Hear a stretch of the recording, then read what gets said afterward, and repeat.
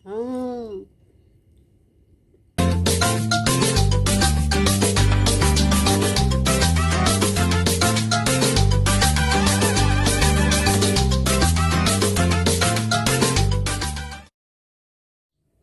Good morning everyone! Welcome back to my channel, Nalia Chrissy. Guys, our video for today, turuan ko kayo magluto ng pansit na walang oil.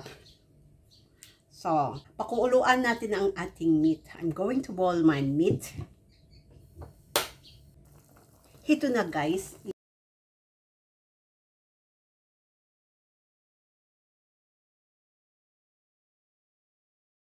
So, magluluto tayo ng pansit without oil, without gisa-gisa. Ayan na guys, luto na yung mga meat. Lagay na natin ang ating vegetables.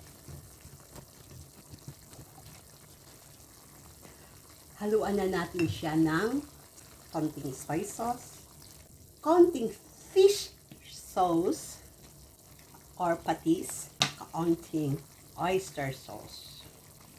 Pakuluan ng konti. Mix. Ma-half cook lang ang mga gulay. Tanggalin muna natin ang ating mga gulay at saka meat. Ihalo natin ang ating sutanghon. Haluin. O diba guys?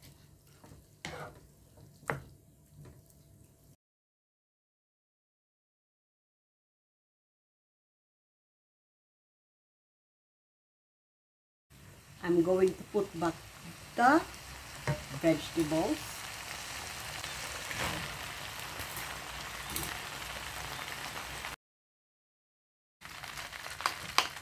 Lagyan natin ng white pepper. Optional lang to. This is optional. I add a little bit of sweet soy sauce. Mix again. Ihalo na natin ang ating green leafy vegetables. Pansin nyo guys, hindi ko ito nilagyan ng sibuyas or bawang whatsoever. Kasi, garnish ko siya ng onion leaves at saka fried na garlic na may stock ako long time ago. Or you can eat with this ng chili garlic oil. Okay guys, ito na. Tapos na siya. O, di ba? Pansit din. Kahit hindi siya ginisa sa oil. Pansit din siya. Kain na tayo ng pansit na walang oil. Ayan guys, dito ako sa labas kasi nagbabantay ako ng aking nilabhan. Baka umulan. Kaya na tayo guys. Kasi na gugutom na ako.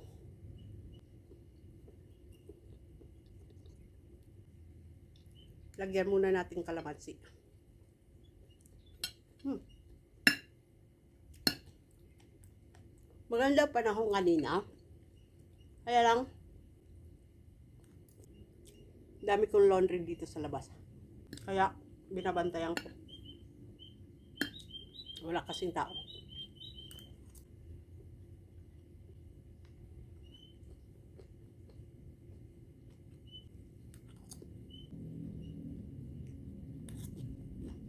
Hmm. Yan.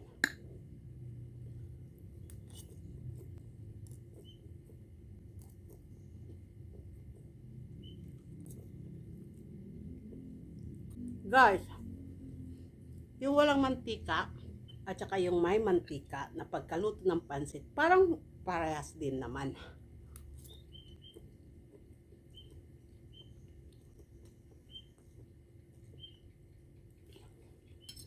Yung may mantika kasi, it's more tastier kasi may mantika nga. Pero ito, masarap pa naman din eh. Kahit walang mantika. Hindi ko siya nilagyan ng bawang. Kasi, yung sibuyas at saka bawang, kailangan igisa, di ba? Kailangan isute. Masarap pa rin naman eh. Nakasanayan lang kasi natin na ginigisa.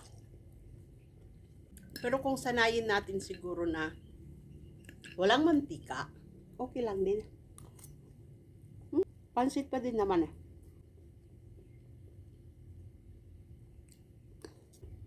Nagda-diet kami ng oil. Carbo, hindi naman.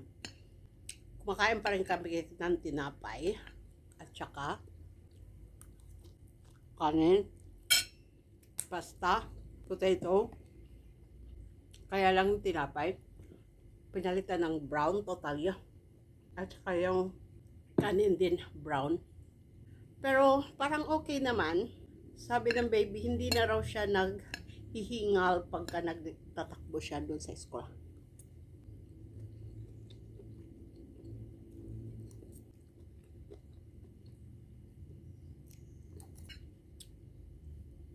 Dito guys, marami akong papaya namumunga na. Hindi ko na siya ginugulayan. Yung maliliit lang. Hmm. Yung step na yan, papunta sa barbecue. Marami rin ako dito ng tanim, guys. Ayan, may atsueti. Pero maliit pa.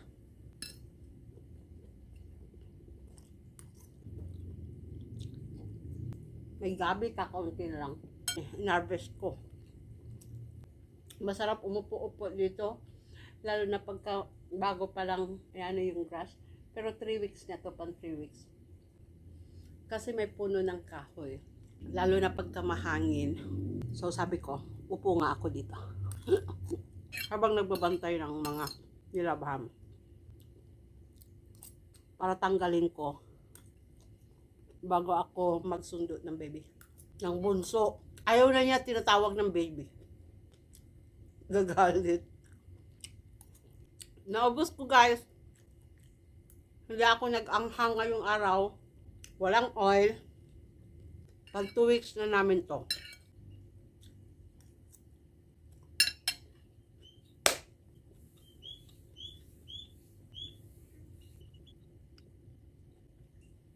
Hmm. I-try nyo guys. Magluto ng ganon na walang oil. Ganun din, pansit din. Masarap pa rin. Lalo na pagka maraming sahog.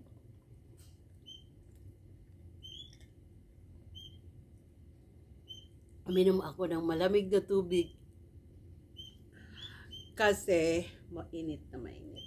Ayan na guys, oh. Nakita ko.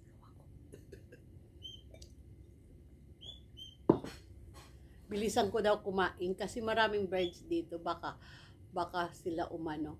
Pumupo daming birds doon oh guys.